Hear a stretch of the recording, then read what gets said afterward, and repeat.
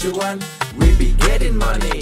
Cuan. Oke mas bro, sebelum kita lanjut videonya, saya ngasih pengumuman bahwa grup STS open lagi. Grup STS diskusi dan rekomendasi bulan April 2024, yaitu aktif dari tanggal 1 sampai tanggal 30 April 2024 teman-teman. Nah, apa itu grup STS uh, rekomendasi dan diskusi April? Teman-teman bisa lihat video di atas untuk detailnya.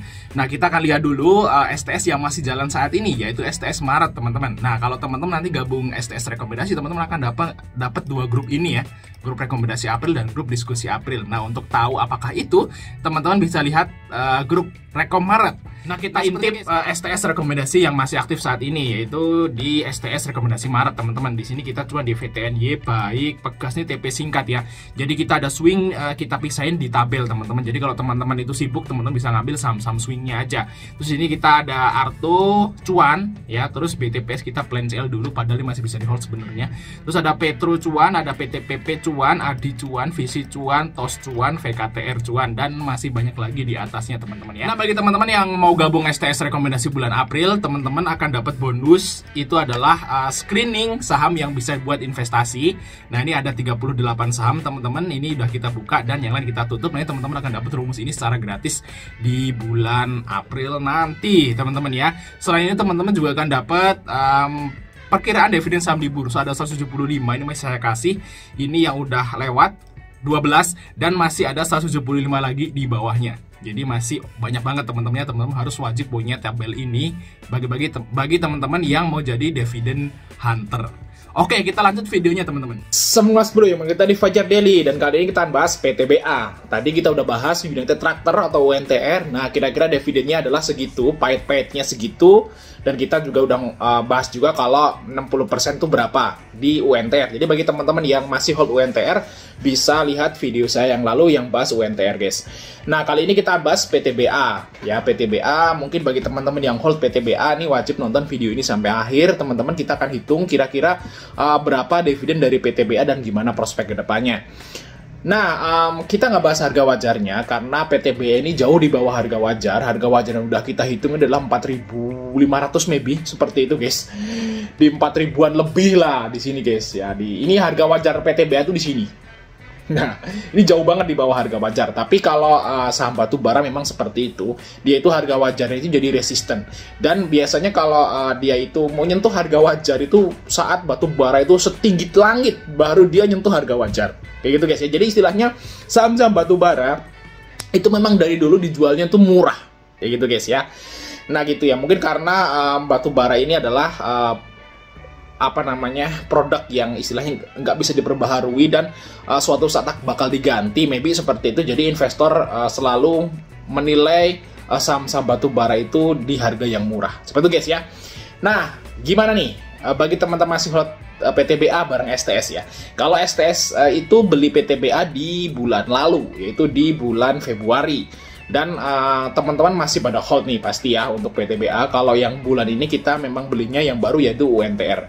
Nah, di sini guys ya, ini uh, STS. Oh, ini bukan nih, yang mana nih? Oh, ini guys ya. Nah, ini ini ini. Ini ini ini. ini. Nah, kita memang masih punya MTEK memang. Kira-kira segini memang untuk MTEK. Dan di sini uh, kita masih uh, hold PTBA yaitu di AVG sekitaran 2500 guys. Nah, itu AVG PTBA di STS dan sekarang udah 15%. Jadi sebenarnya PTBA ini udah taking profit. Jadi kita itu uh, targetnya hanya 10 atau 11% di STS yang lalu. Cuman uh, apa namanya? Ada sebagian temen yang masih ngehold sampai sekarang berarti dia udah hampir 16% karena dia memang mau ngambil dividennya teman-teman ya. Jadi sebenarnya untuk PTBA ini udah udah selesai gitu ya untuk targetnya sebenarnya. Tapi yang masih hold is oke. Okay. Nah, kita akan coba hitung berapa kira-kira uh, apa namanya dividen dari PTBA ya. Ini guys. Oke, okay, sebelum kita uh, lihat uh, apa namanya dividen PTBA tahun lalu, yang dia bagi 100%. Kalau teman-teman ngikutin PTBA dan saya ngambil dividen PTBA tahun lalu, itu PTBA itu bagi 100% laba. Jadi DPR-nya itu 100%. Jadi EPS-nya ini adalah 10 eh 1092 itu semua dibagikan ke dividen. Jadi waktu itu dividen yield-nya itu 30% kalau nggak salah. Wah, pesta banget guys. Tapi habis itu ARB. Itu guys ya. Di sini nih, di sini nih. Saya ngikut guys, saya ngambil dividennya, tapi waktu itu saya ngambil dari bawah saya udah ngambil dari bawah sini guys terus ini di saya hold loncat dier. Bagi dividen ti- eh, 100% laba gitu ya. Yieldnya hampir 30% waktu itu. Terus habis X date-nya dibanting. Nah di, tapi saya masih cuan karena saya ngambilnya di sini. Oke nah saya akan ngulangin hal yang sama ya. Tapi saya udah memang STS sudah ngambil dari bawah guys dari sekitaran ini ya. Kalau nggak salah memang kita ngambilnya di sini guys waktu di bulan Februari kalau si PTBA dan waktu di sini sebenarnya udah selesai gitu ya terus teman-teman mungkin ngambil lagi di sini terus dibawa naik Oke, terus em, kita akan coba hitung berapa kira-kira dividen PTBA. Apakah PTBA mau bagi dividen 100% lagi? Kalau kita lihat di sini teman-teman, kalau kita mau ngomong, oh PTBA pasti bagi dividen 100% lagi. Kalau teman-teman yakin nih, PTBA itu pasti bagi dividen 100% lagi, berarti dividen PTBA adalah 530 atau 531. Nah, kalau yakin, bagi dividen 100%, 531. Nah, kita hitung aja guys. 531 ya dibagi sekarang harganya berapa nih PTBA? 2900. Nah, berarti teman-teman masih dapat dividend yield itu adalah 18% di harga yang sekarang. Kalau teman-teman yakin PTBA bagi dividen itu 100%. Kalau yakin ya. Tapi kalau saya nggak yakin, saya nggak yakin dividen PTBA itu 100% lagi. Karena eh, saya baca laporan keuangannya teman-teman, saldo laba PTBA itu udah mau habis. Ya, karena dibagi dividen tahun lalu yang gede. Nah, sekarang saldo labanya udah menipis teman-teman. Jadi saldo laba itu berfungsi untuk istilahnya itu ekspansi lah seperti itu guys ya. Jadi untuk eh, kebutuhan yang tak terduga seperti itu dan sekarang udah mau habis. Saya kira eh, PTBA akan rasional ya, nggak akan bagi dividen 100% lagi. Ini menurut perkiraan saya. Tapi ya semoga aja dia bagi 100% ya. Kita ngomong semoga aja. Tapi kan kita ya istilahnya harus kritis gitu ya tentang keadaan perusahaan biar kita itu nggak terlalu mengharap suatu hal yang berlebihan gitu guys ya. Nah, teman-teman lihat di sini untuk PTBA PTBA memang dari eh, tahun 2022 ke belakang sampai 2021 2022 itu memang bagi dividen 100%. Nah, tapi kalau teman-teman lihat tahun 2020, 2020 itu PTBA itu bentar nih gitu di sini. 2020 itu berarti dibagi tahun 2021 ya di sini guys. Nah, di sini eh, dividennya itu cuma 74, tapi kan ini karena pandemi ya pandemi makanya kita nggak bisa istilahnya itu uh, ngukur ini namanya pandemi. Nah kita ambil aja sebelum pandemi yaitu di tahun 2020 nih dari laba 2019 dan tahun 2019 dari laba 2018. Nah kita lihat di sini teman-teman kalau teman-teman lihat di sini tahun 2018 itu PTE tahun 2017 nih 2017 ini kan dibagikan 2018. Nah dividen PTBA 2018 itu adalah 318. Nah, kita lihat di sini IPS-nya adalah 389. Nah, ini udah saya hitung itu 80%. Nah, di sini kita lihat laba tahun 2018 itu adalah 436.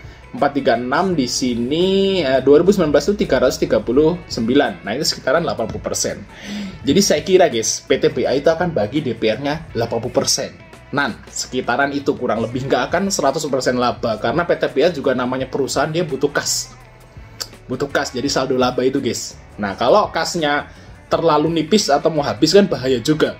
Jadi saya kira sih nggak akan uh, bagi dividen 100% lagi PTBA untuk tahun ini. Dia akan mentingin kas dulu. Harusnya seperti itu guys. Tapi ya kita berharap bagi div- dividen 100% ya. Harapan kita. Tapi kita kita ngomong pahitnya dan uh, apa namanya ya untuk kebaikannya perusahaannya. Dia kan kita uh, perusahaan sebuah perusahaan kan butuh kas seperti itu guys berarti 80%. Dan alasan yang kedua adalah uh, la- uh, hutangnya naik. Hutangnya sekarang 0,8. Jadi kasnya nipis, hutangnya naik. Kasnya nipis, hutangnya nambah. Nah, harusnya dia ada fee-nya dikurangi untuk modal nantinya guys atau untuk bayar hutang atau apalah seperti itu guys. Jadi nggak akan bagi 100% lagi eh, 100% lagi kalau pikiran saya. Nah, kita hitung aja guys. Kalau kita anggap pahitnya yaitu 80%. Nah, kita hitung aja guys. Nah, IPS-nya ini kan eh, 531 ya guys ya. 531 dikurangi eh, apa namanya 20%. Gitu guys ya. Nah, berarti dividennya sekitaran 424. Ini masih gede guys. Nah, kita hitung ya 424 dibagi 2900. Bread, guys. Jadi dividen PTBA pahitnya itu masih dapat segini loh. Hampir 15%. Kalau teman-teman yang STS ini guys, STS yang tadi nih guys. Nah ini yang di HAVG 2500 itu berarti dapat berapa tuh?